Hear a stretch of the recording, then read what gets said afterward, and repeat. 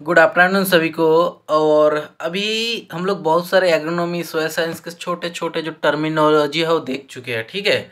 अब हम थोड़ा हटके जाएँगे ब्रीडिंग की ओर जाएँगे आज। उसमें इंटरेस्ट आ रहा है, ठीक है? तो ब्रीडिंग में हम एक टॉपिक तो देखेंगे सेरोलॉजी किसको बोलेंगे और एक ट्रांडक्शन किसको बोलेंगे, ठीक है? छोटा छोटा टर्मिनोलॉजी एग्ज़ाम में पूछा जाता है, बहुत इंपॉर्टेंट है, इसीलिए। तो सबसे पहले हम देखेंगे सेरोलॉजी किसे कहा जाता है, ठीक? तो सेरोलॉजी क्या होता है?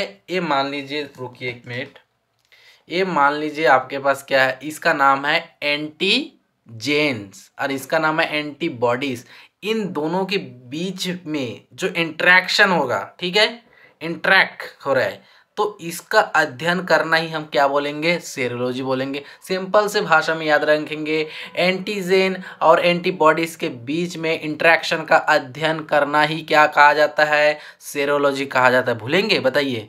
याद रखना, एक का एंटीजन किसी को भी मान लेना एंटीजन या एंटीबॉडीज ठीक है? दोनों के बीच अट्रैक्शन हो रहा है। या तो ये इसको आप गलत मत समझना, ठीक है? समझने, इसको कोई गर्ल्स मत समझ लेना, इसको बॉयज़ समझ, एक दूसरे को देखने से जो इंट्रैक्शन होता है तो ऐसे करके आप याद रख सकते बहुत ही इंपॉर्टेंट है, ठीक है? सेरोलॉजी तो सीधा से बात में याद रखेंगे। मेरे साथ बोलिए एंटीजन और एंटीबॉडीज के बीच में इंट्रैक्शन को हम क्या बोलेंगे?